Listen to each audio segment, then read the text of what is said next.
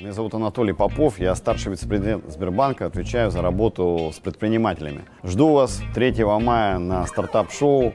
Я уверен, что лучший стартап получит самый главный приз – это возможность работы с самой большой клиентской базой в стране, клиентской базой Сбербанка. Удачи, до скорых встреч!